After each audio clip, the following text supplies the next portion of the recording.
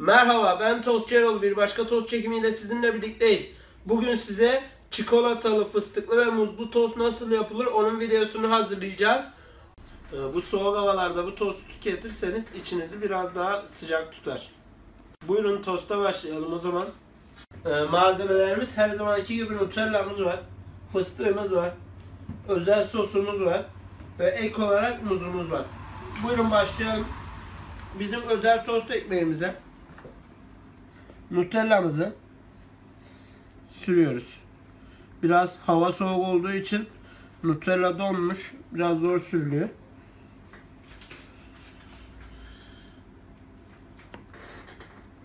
Yaklaşık bir 100 gram gelecek şekilde Nutella'mızı sürüyoruz.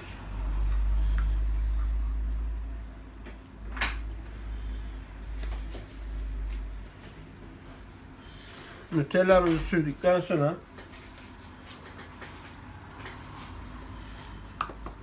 muzumuzu düzüyoruz. Muzlar biraz kaygan olduğu için kayıyor.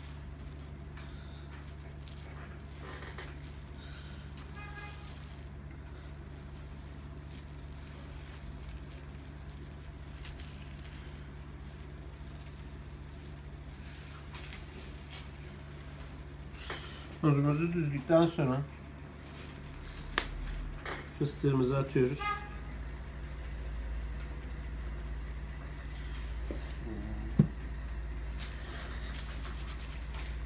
Çok hafif sos atıyoruz.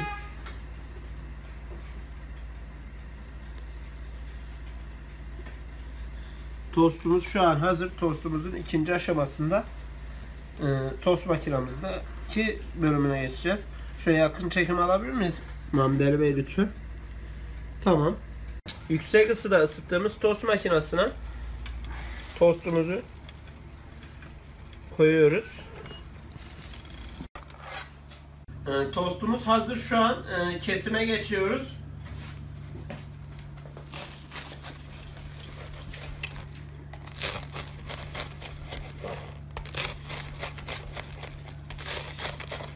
Tost Erol farkıyla muzlu çikolatalı fıstıklı tost. Tostçu Erol Usta. Şu anda paket telefonunuz çalmaktadır. Muhtemelen biri adres sormak veya sipariş vermek için sizi aramaktadır. Lütfen geç olmadan acil yönünden cep telefonuna cevap veriniz. Dikkat dikkat. Tostçu Evet. Tostumuzu servis yapıyoruz şu an.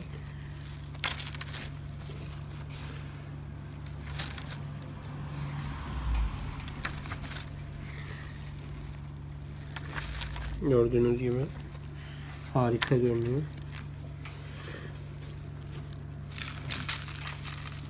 Tost Erol farkıyla çikolatalı tost. Yakın çekim alabilir miyiz lütfen?